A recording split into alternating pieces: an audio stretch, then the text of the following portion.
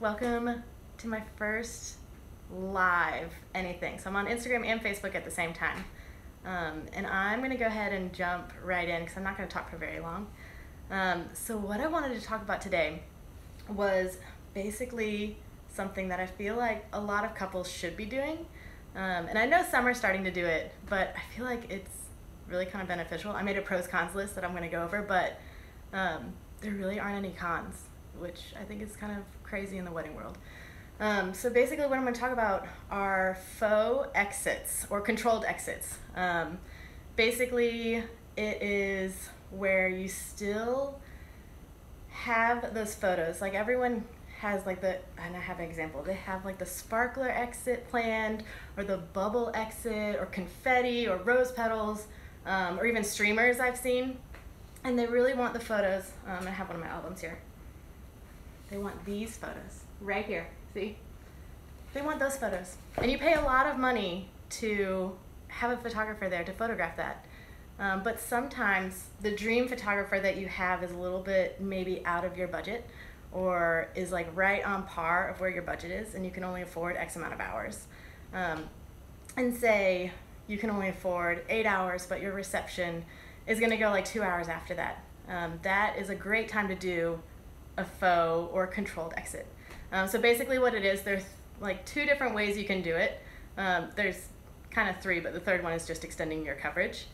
Um, the main ways you can do it is basically kind of midway during your reception, you grab everyone for like five minutes, head outside, light your sparklers, and basically do a faux exit where you run out and you get the pictures that you want, and then everyone runs right back in and still parties for like two more hours. Um, and your photographer, videographer, whoever else you have, um, basically go home after that. Um, again, this is really beneficial if you can only afford X amount of hours and you're like, well, it's not really in the budget to extend, um, to pay for two more hours or pay for another hour or whatever like that. Um, so yeah, so you can either take everyone outside mid reception or you can just take, and this is the way that I really promote it um, you just take your bridal party, who are generally your best friends, um, and your immediate family, and you go outside and you do your sparkler exit. Um, and none of the other guests know about it. And it's great because it doesn't interrupt the party at all. Um, so I'm to go over a couple pros and cons because I keep talking about them. But um, so basically, the pros are you still get the photos. You still get these wonderful sparkler exit photos, and they actually made it the cover of their album um, because they loved it and that's what they wanted. So you still get sparkler exit photos. Um, another pro if you just do your bridal party and your family is that you just have the people that you love in those photos. Um, I know I've, I've seen this a lot and I've had this happen kind of often during the sparkler exit photos that there's one random girlfriend or boyfriend that you're like, I literally have no idea. They were just a plus one. Like I literally have no idea who they are. But they're like right in the middle of the aisle with that sparkler waving it in our faces. Um, so a benefit of just doing bridal party and family is that it's just the people that you love in the in the background holding the sparklers and cheering you on. Um, the other thing is that you can save money by just hiring a photographer or videographer for like not as many hours as you think. Um, so say you can only afford six hours of coverage. Um, with like a faux or controlled exit, you can make that work. You can still get all the photos, you can still get dancing photos. Um, typically during receptions, people start dancing in the very beginning, like right when the dance floor opens, and then they start tapering off. Um, either they get tired or they want another drink, which is usually what happens. Um, so then you still get dancing photos and people are actually out on the dance floor. No one's really tired yet. Um, but you're not paying more for the photographer the videographer to be there because you still get all the photos. Um, let's see. What was my other pro? You don't have like basically you don't have to watch the clock during your reception. Um, like i said if you've only can afford six or eight hours you don't have to be paying attention to the reception like oh crap i only got one more hour with this photographer, one more hour with this videographer. Crap, you know, like we still are dancing, like the party's still going on. You don't have to worry about that. Um, that's not even a concern. You can just party the night away. Um, another thing with faux exits are they're easier to do. They take less time. There's less hurting drunk little kittens around. That's what I like to call them. Um, because it's not as many people. It's basically, like I said, if you do your bridal party in your family, maybe that's what, like 20 people tops, um, unless you have a really large bridal party. Um, but it's 20 people versus like 70 people that you're trying to herd outside and everyone's trying to grab their coats at the end of the night or they're trying to grab all their stuff and they don't realize that they can come back in and get their things. Um, so yeah that's it's just easier to do. It's way quicker. We can make it legitimately five minutes or less like it takes longer to light the, the sparklers than it does to actually do it um, and i say sparklers because that's what a lot of people do. Um, bubbles are becoming really popular, and I actually really love the bubble exits. I think they're really fun, um, mainly because typically brides and bridesmaids have a lot of hairspray, and there's a lot of tulle and really fancy fabric on their dresses that are really, uh, you know, not fire retardant at all. So sparklers are a little scary, um, which is why I love bubbles. They're a little bit safer. Uh, let's see. Other people, yeah. So I said this earlier, but if you just do your bridal party and your family, you get the people that you love the most in the photos. Um, I know for my wedding, we did a sparkler exit at the end of the night. We actually did, we did bubbles and sparklers, but we did a sparkler exit at the end of the night. Um, and there are a couple photos where we just have our grandmas both standing, like somehow they both managed to be in there. Um, and it's just our grandmas like waving the little sparkler, and I loved it. Um, I think if you do it with everyone at the end of the night, more people are a little bit rowdier, especially if you do an open bar. Um, what was my other note? Hold on, I'm looking at my notes.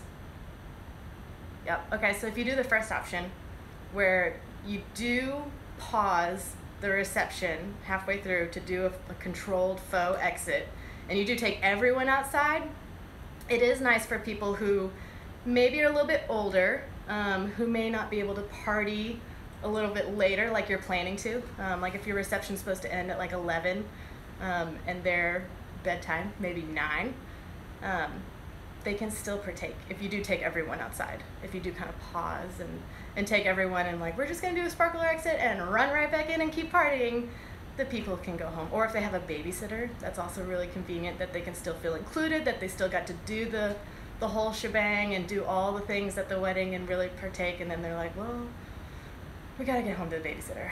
Dang it. Um, but anyways, a uh, couple cons that I did write down, but there's only there's really three. Like the pros so outweigh the cons. Um, the first one is that it does kind of interrupt the reception just a little bit. Like I said, kind of take a little pause. Um, and this is something where you can work with your planner, your coordinator, or your photographer on like when exactly this controlled exit happens. Um, but it does interrupt the reception just a little bit, especially if you take everybody. If you just take your bridal party and your family, it really doesn't in- interrupt the reception at all because literally everyone else has no idea that you've even left. Um, they're just usually they're partying or they're dancing and they're like, oh, and then you come back on the dance floor and they're like, where'd you go? And you're like, well, we did our exit. We're back though. um, the other con that I did write down is that it is it's not the real exit. Um, but saying that, it doesn't mean that you don't have like you can't do a sparkler exit afterwards. Um, like I said, I'm thinking of this in terms of hours of coverage for your photographer and your and your videographer. Um, that they don't have to stay as long, they don't have as much coverage, and again, like you can save quite a bit of money if you just have them come for six or eight hours and that's all you can afford, but your reception is kind of going to go towards where you really need 10 hours of coverage. Um, you just do a faux exit and they can go home after eight. Um, but that doesn't stop you from doing a real exit at the end of the night with everybody where you actually leave. Um, it just means it probably won't be photographed or videographed, except for iPhones and everyone else with their with their selfie sticks that I've seen a lot, or their iPads that I've also seen a lot, um, which can also be really fun. Um, the last con that I really have is that it's not quite as dramatic, um, especially if you just do bridal party and family out there. It is not as many people as like the real thing or like the real exit where you know again there's like 70 people lined up with spark all of them have sparklers or bubbles or streamers or anything sparklers are the most common so i keep saying sparklers um, but again it doesn't stop you from doing the real thing at the very end of the night and really doing a real send off um, but yeah that's pretty much it i'm moving instagram over just a little bit I'm looking at comments now and I'm saying hello to everyone. Um, but yeah, I that was pretty much it. I am such a proponent for controlled info exits. I think they make they make a big difference um, in terms of. I mean, and I'm thinking of it a little bit more selfishly too. Like I can go home a little bit, a little bit earlier in the night, but also it's a little bit more fun. Um, again, wedding party and family you take the people you love the most and you go outside for five minutes or less and you do exit. You get the beautiful exit photos that you want, that you're paying a lot of money for. Um, but you're still saving a little bit of money by sending your photographer or videographer home a little bit earlier in the night. Um, and then they can get a head start on doing your sneak preview. Um, that's always how I think of it. I get to go home and uh, work on your sneak preview a little bit, and then I get to post it a little bit earlier. Um, but yeah, that is pretty much all I have about it. Um, if you have any more questions about them or want to talk more about it, feel free to leave a comment in this video or send me an email or shoot me a DM. But yeah, I hope y'all have a wonderful day. I'm going to end Instagram first. Yup.